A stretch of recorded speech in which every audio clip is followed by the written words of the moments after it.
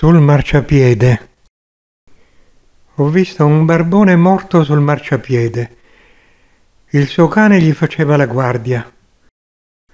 Tutto finisce così? Commento. No, perché il cane e il barbone si sono amati e questo amore ha prodotto nel cane un avvicinamento al mondo umano e al barbone uno scatto di sentire.